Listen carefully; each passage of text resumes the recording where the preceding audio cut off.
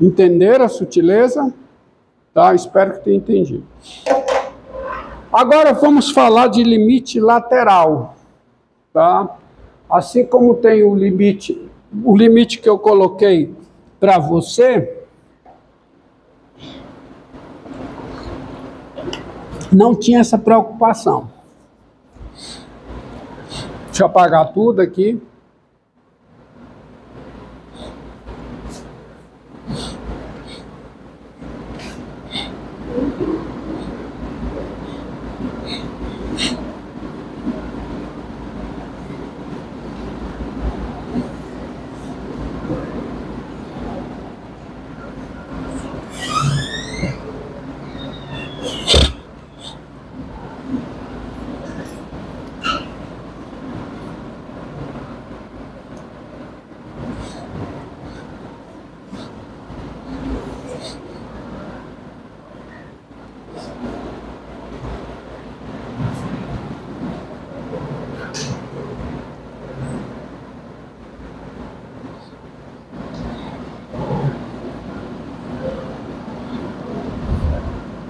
Tá contando o tempo aí direitinho, cara?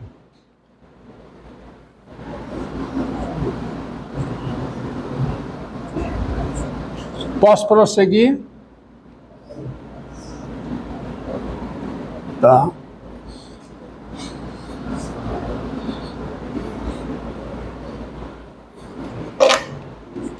Ó.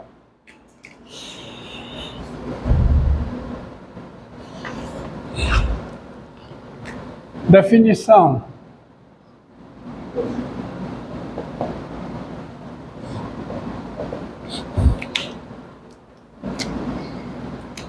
Sejam x o subconjunto de R e P o número real. Nós dizemos, nós dizemos que P é ponto de acumulação, é ponto de acumulação de x pela direita quando x intersecção com o intervalo PP mais delta é diferente do vazio, qualquer que seja delta positivo. Correção? Qualquer que seja delta positivo. Definição ponto de acumulação pela direita. Quer dizer que eu posso, quer dizer que tão pro, x é ponto de acumulação P é ponto de acumulação do conjunto X pela direita quando tá tão próximo de P pela direita quanto eu queira existir um elemento do conjunto X, ou seja, quando eu posso me aproximar de X quando eu posso me aproximar de P pela direita, usando elementos do conjunto X. Tá certo? E você tem que é ponto de acumulação de P pela esquerda. Me permita usar o espaço quando essa interseção com que? Com P menos delta P for diferente do vazio. Porque esse intervalo aqui, o intervalo PP mais delta, é o que podemos dizer ser uma vizinhança aberta e estrita de P pela direita. E o intervalo P menos delta P é uma vizinhança aberta e estrita de P pela esquerda. Um desenho, ó.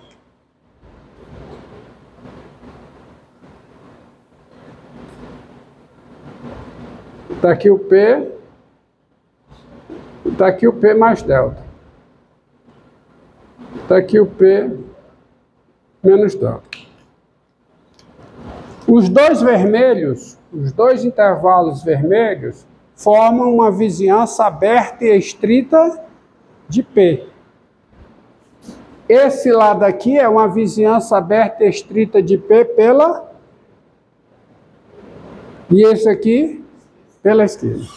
Se nesse intervalo aqui, para todo delta, se para todo delta positivo, houver nesse intervalo um elemento de x, você diz que o P é ponto de acumulação pela direita. Tá certo? Peraí, eu troquei. Eu troquei as bolas. Eu troquei as bolas, tá certo? Se nesse intervalo aqui, vamos consertar. Se nesse intervalo aqui. Não, tá certo, tá certo. Se nesse intervalo aqui, tá correto, tá correto. Se nesse intervalo aqui tiver um elemento de x, qualquer que seja o delta positivo, eu posso me aproximar de P por elementos de x pela direita. Então, P é ponto de acumulação pela direita.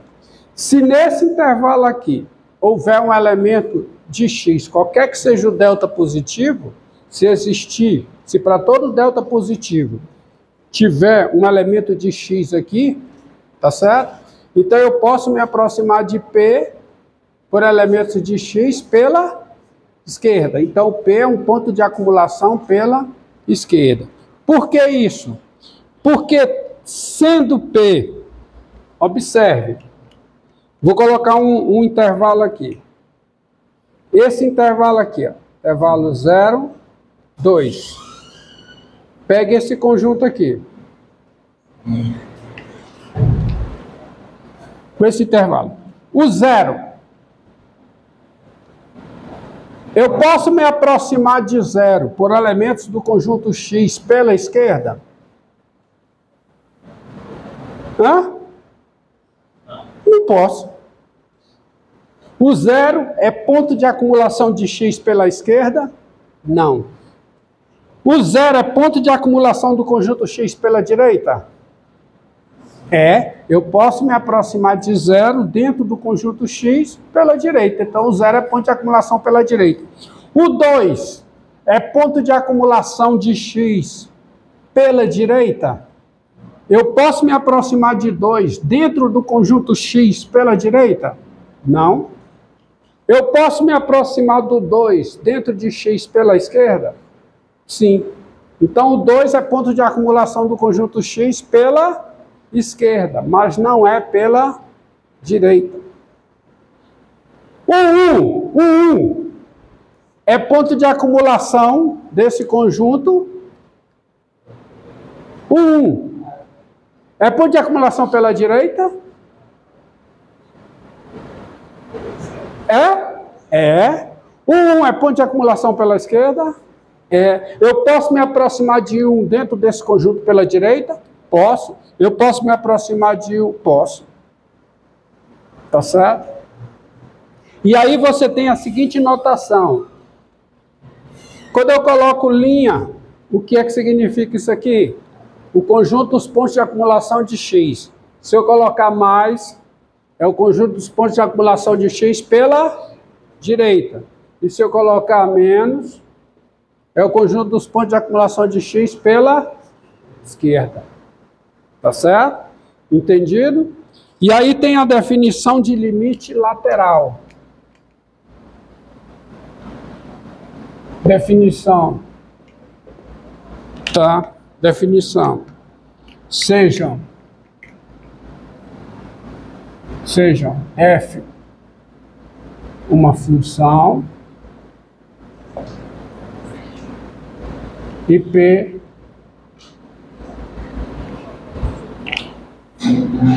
sejam f uma função,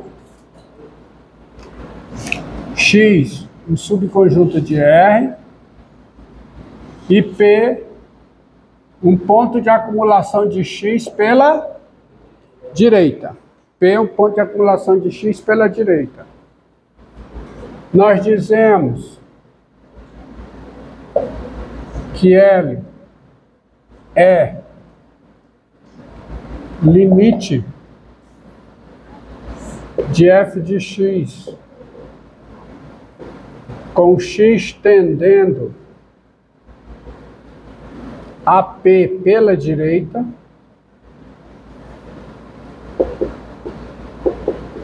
pela direita, tá? Quando para cada epsilon maior do que zero, quando para cada epsilon que zero, existe delta, delta positivo, tal que x no domínio de f e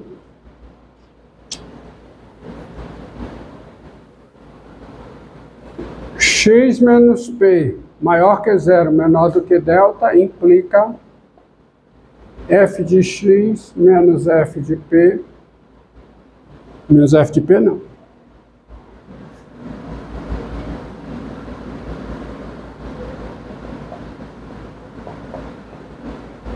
Menor que f. Tá? Isso é a definição de limite lateral pela direita. Qual é, de, qual é a diferença da definição de limites? Qual é a diferença que você vê aqui entre essa definição e a definição de limite? É que não tem módulo. Porque aqui x menos p maior que zero, ou seja, o x está tendendo a p pela direita. O x está tendendo a p, se aproximando de p pela direita. E maior que zero é porque está só se aproximando. Tá? Entendeu? Tá? Para economizar tempo, como é que faria a definição? Com P sendo ponto de acumulação pela esquerda. Dizemos que L é limite de x, com x tendendo a P pela esquerda, Quando para cada epsilon maior do que zero existir delta positivo, tal que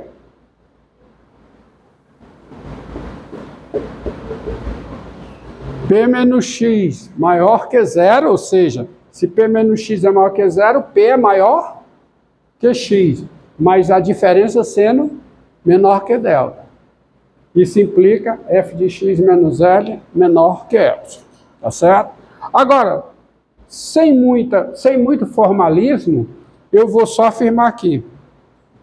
Sendo L o limite de f de x, sendo Lm limites de f de x com x tendendo a p pela direita, o L é igual a m.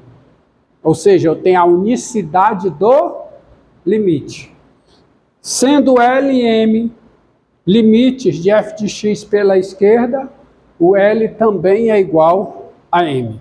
E eu só tenho a unicidade porque eu suponho que P seja, no caso do limite pela direita, o P seja ponto de acumulação pela direita. No caso do limite pela esquerda, o P seja ponto de acumulação pela esquerda. Tá certo? Então, e, e tendo a unicidade, eu posso dar uma notação para o limite enquanto número real. E o limite, a notação é essa, ó. L igual a limite de f de x, como fica o limite pela direita?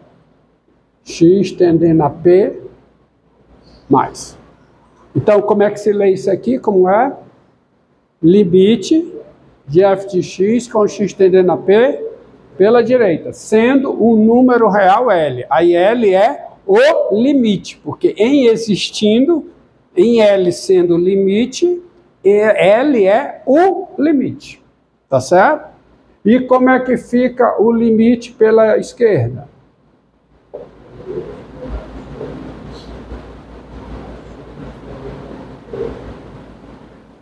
Tá? Nas notas eu escrevo todas as proposições, você tem a unicidade. Tem o teorema do limite positivo, ou seja, Se L é o limite de f de x com x, com x tendendo a p pela direita, há uma, e L é positivo, se L é positivo, e L é o limite de f de x com x tendendo a p pela direita, há uma vizinhança aberta e estrita de p pela direita, onde f é estritamente positiva. Se L é positivo e L é o limite de f de x com x tendendo a p pela esquerda, há uma vizinhança, tá certo? Então, há uma vizinhança aberta e estrita de p pela esquerda, onde a função é estritamente positiva. Eu não vou ficar enunciando todas as proposições, vamos logo a uns vamos logo a exemplos, tá? Ó, seja seja f a função a função dada por f de x igual a ó, x2 mais 4x menos 1 se x é maior que igual a 1 e 3x menos 4x2 se x é menor que 1. Bom? Isso é, isso é uma função que a gente diz definida por partes. Há também, pessoal, ó.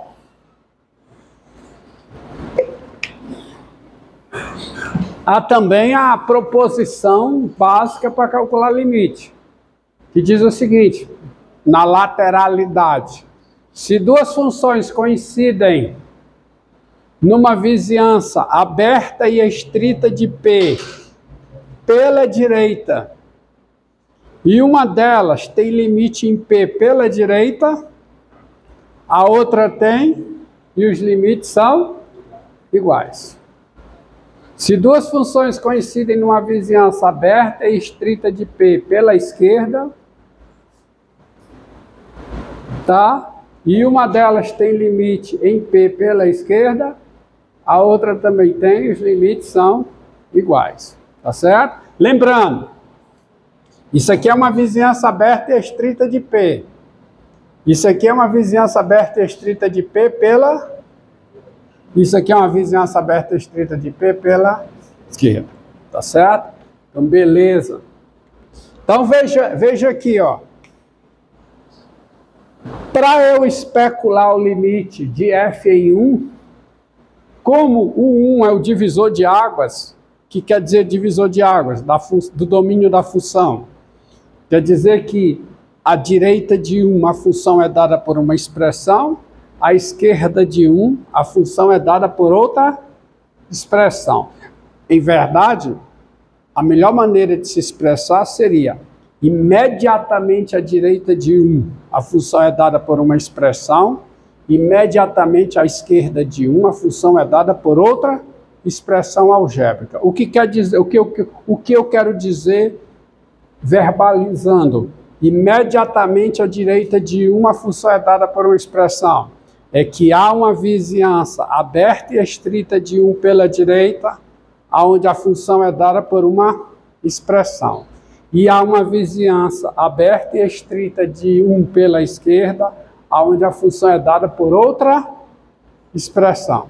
Tá certo? É isso. Hã? Quem é o domínio dessa função? O domínio dessa função. Quem é o domínio? De... Não, quem é o domínio desta função? Os reais. Então todo número é ponto de, todo número é ponto de acumulação do conjunto dos números reais. Tá certo? Entendido? Então tem-se, vamos logo. Vamos logo às contas. Tem-se. Quem é o limite? Imagine se eu ficar aqui dando todas as listando todas as proposições, todas as definições. Tá certo? Não vai chegar. Então vamos usar, vamos se você estiver interessado, consulte as notas. Vamos direto ao ponto. Limite de f de x com x tendendo a 1, por exemplo. Eu tenho que me preocupar com limites laterais. Porque no